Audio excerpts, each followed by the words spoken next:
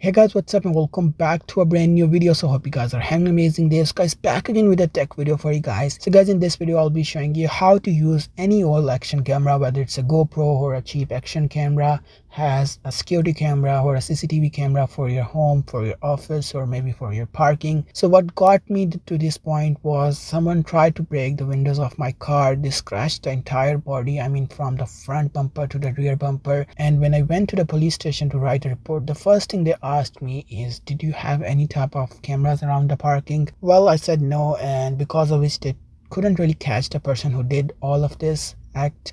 So that got me into thinking is i should have some kind of camera inside my parking for the spot where I park because for the entire parking I really need a very big kind of CCTV camera system. So basically this camera is about three to four years old and this was in the competition of GoPro Hero 2 back then because of which the video quality of this camera is just amazing. It can record up to 2k so the things you are going to need a big memory card i mean with large storage. I put in a 64 gigs of memory card but you can put 128 gb or 256 gb because memory cards are pretty cheap these days. And the second thing you need is a power adapter which uh, most people are going to be having a micro usb uh, cable lying around in the home. And the third thing is in order to mount uh, the camera you can use the waterproof mount or you can use a 3m mount. Any way you can like to attach the camera. I used an old gorilla tripod. It fits pretty nicely with the camera and i can uh, put the gorilla tripod onto my balcony and put some cable ties around it. But uh, you can also use 3m if you like. And then the thing you need to do is you need to make sure the power supply is 24 7 there. You, you want to make sure the power supply doesn't cut off because the batteries of this action camera don't last more than two to three hours or more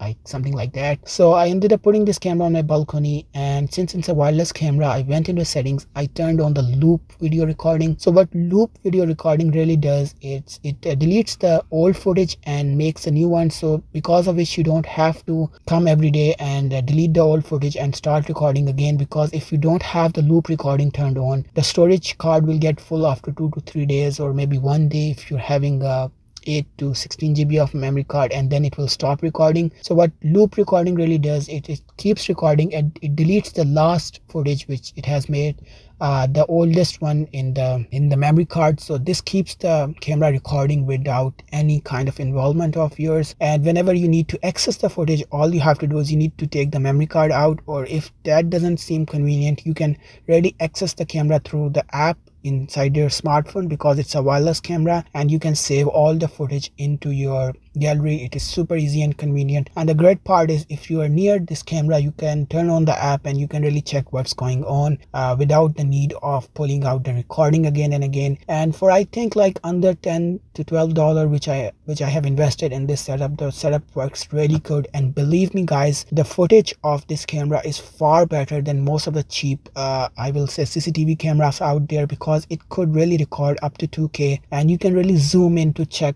uh, a person uh, without any problem.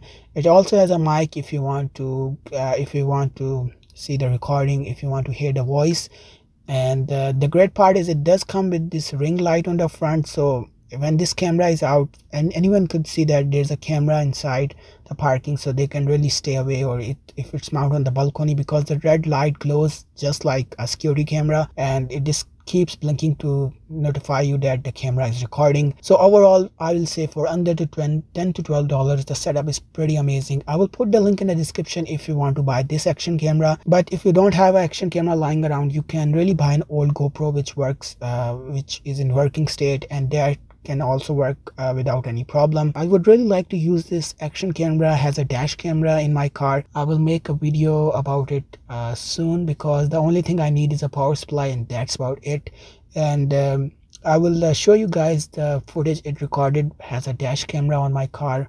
I will maybe upload it later on my channel. I will link all the parts which I used in this video such as the micro USB cable, the memory card as well as the Gorilla tripod inside the description if you want to check anything out. So with that being said, that pretty much wrap this video up. So if you like the video, make sure you give it a like and if you're new, consider subscribing and become a part of this channel. And thanks for watching and goodbye.